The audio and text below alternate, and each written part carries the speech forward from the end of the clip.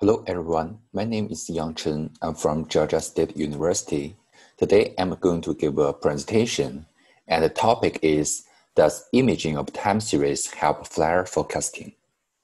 To begin with, I'd like to provide some background information regarding the solar flare. Solar flares are sudden flashes of increased brightness on the sun. An example of solar flare is depicted on the right hand. Solar flares are logarithmically classified into five classes of A, B, C, M, and X, from weaker to stronger. Based on knowing flares, a coronal mass ejection or CME is released by a stronger solar flare, which is a large explosion of plasma and magnetic field. CME can potentially cause geomagnetic storm with direct impacts on astronauts, satellites, and even ground-based technologies and power grids.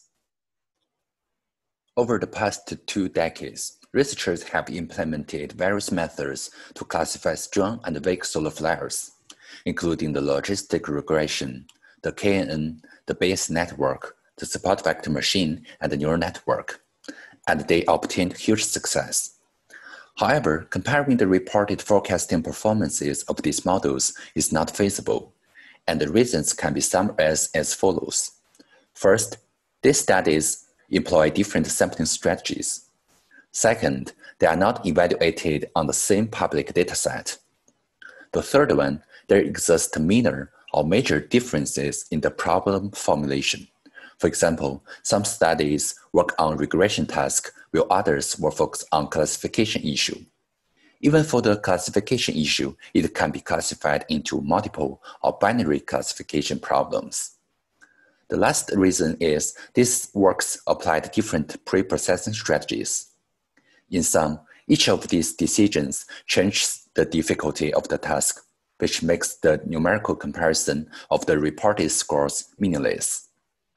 To remedy these issues, a possible solution is to use the same dataset and same processing pipeline, which can compare different models fairly. Therefore, a public benchmark dataset, namely SWAN-SF, is selected in this study. The goal is to provide shared experimental setting and comparable results. Next, I'm going to introduce some details about the data source. The full name of the SWAN-SF benchmark dataset is Space Weather Analytics for Solar Flares. SWAN-SF is a large collection of multivariate time series extracted from SHARP series. This dataset includes five temporal non-overlapping partitions over eight years. The partitioning idea is to let each partition contains approximately an equal number of X and M class flares. In this undersampling method, the number of instances of the majority classes and the minority classes become equal, the ratio of the individual classes are preserved from the original dataset. In addition, the two selected partitions are rescaled into the range of minus 1 to 1, which is required by the imaging algorithm utilized in this study. Moreover, missing values are imputed with linear interpolation. In this undersampling method, the number of instances of the majority classes and the minority classes become equal, while the ratio of the individual classes are preserved from the original dataset. In addition, the two selected partitions are rescaled into the range of minus 1 to 1, which is required by the imaging algorithm utilized in this study. Moreover, missing values are imputed with linear interpolation. After introducing the data, I'm going to elaborate the primary part of this paper, imaging of time series. The goal is to provide a new angle to classify flares with images. The idea is to use different imaging algorithms to encode a univariate time series into an image with preserving temporal dependencies between observations. Some visualization examples are on the right hand. The main imaging techniques involved in this work are Gramian angular field and Markov transition field. The reason for converting time series into images is because we want to take advantage of the power of deep neural networks especially the CNN-based architectures.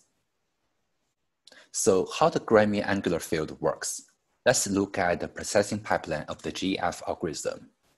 Suppose a given input capital X is a time series with n time steps. Typically, the first step of GF algorithm is to rescale X into a target interval, for example, minus one to one, and denoted as X tilde. In our study, this operation is finished in our preprocessing phase. The second step is to transform rescaled sequence into the polar coordinate system with provided equations. Since x tilde belong to minus 1 to 1, so the phi i will belong to 0 to 180 degrees. There are two primary advantages in this transformation. First, the entire encoding process is bijective as arc cosine function is monotonic. Second, the polar coordinate system preserves temporal dependency by using the radial coordinate RI.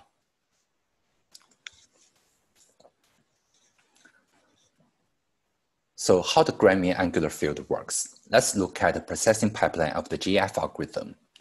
Suppose a given input X is a time series with n time steps.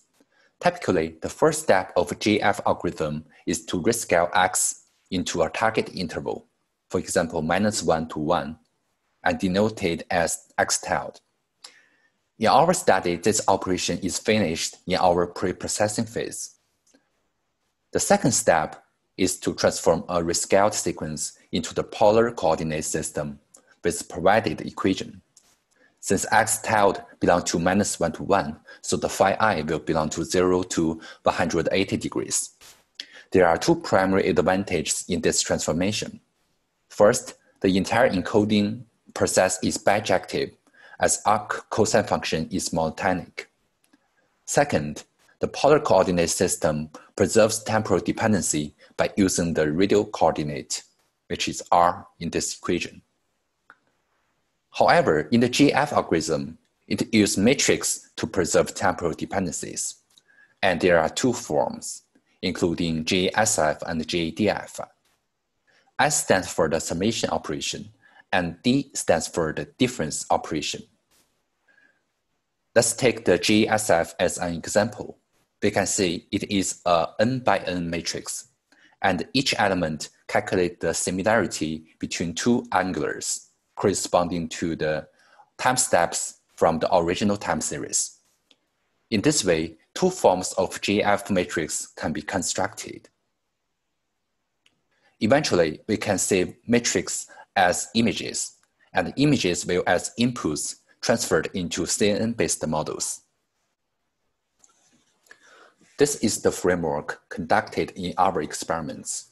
We can see from left side, the partition 1 and the partition 2 will go through same preprocessing, but the undersampling only applies to the partition 1. Next, three imaging algorithms will be applied to derive training and test image datasets. And training image dataset will as inputs to train a LeNet 5 model, which is a CNN-based neural network. In the other hand, we select SVM as a baseline classifier since they have similar ability in the mathematical concept. Finally, the test data dataset Partition 2 will evaluate different classifiers and report performance with TSS and HS scores.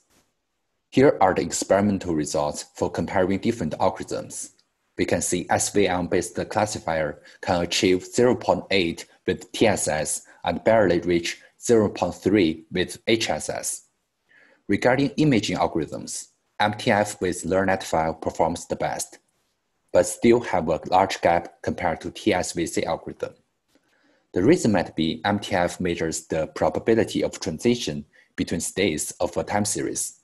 Therefore, it may capture the patterns and fluctuations more distinctly than GEF.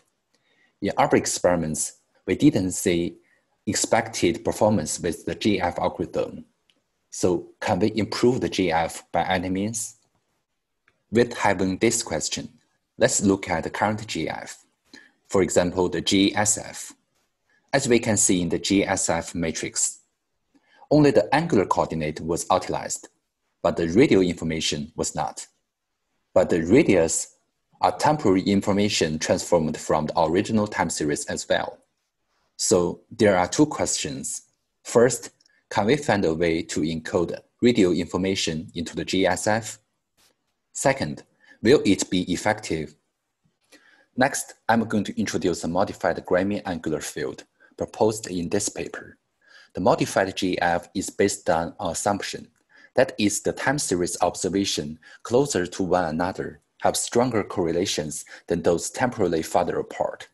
For example, given a time series, the first time point and the second time point have a stronger correlation compared to the first time point with the third time point or other subsequent time points.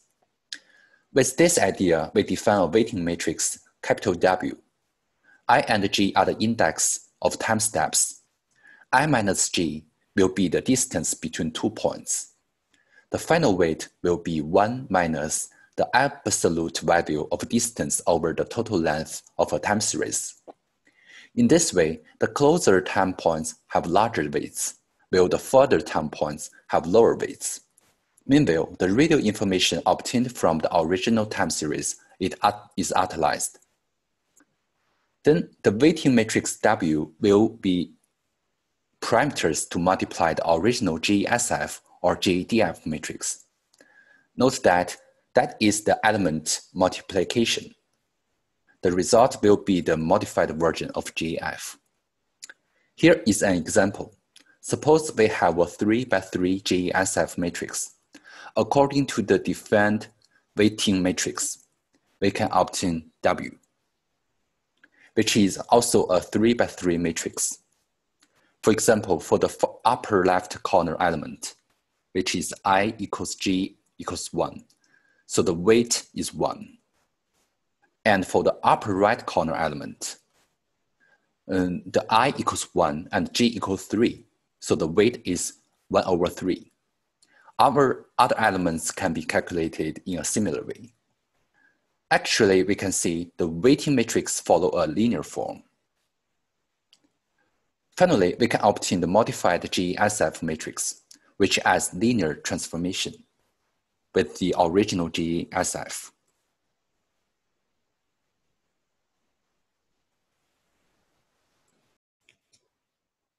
We applied this idea into the original GSF and GDF to obtain the modified GSF and the modified GDF.